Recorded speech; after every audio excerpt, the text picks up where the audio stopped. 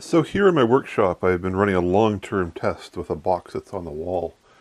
And what it has is a, a filament LED light bulb. Uh, the box comes from an earlier experiment with some uh, grow lights. Uh, but you can see the bulb's been sitting there on one side and it just uh, runs away for hours on end.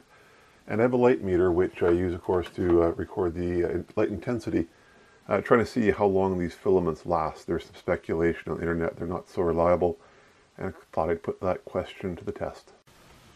Okay, we're now uh, 5,000 hours into this bulb. Uh, every week or so I go and uh, measure it. Uh, blue line's the measurements, the uh, red line is a uh, least squares fit, just sort of showing that the data actually does trend downwards. Um, it has an unusual curve like this going downwards and it started to rally actually going upwards.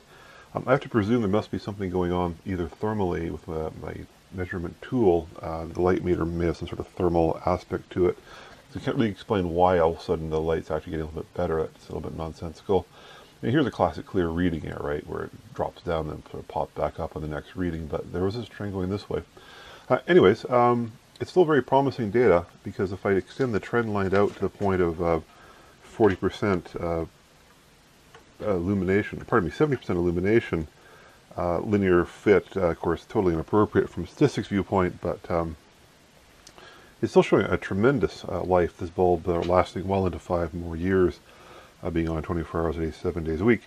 So everything still says that this particular filament LED uh, is going to have a very long life.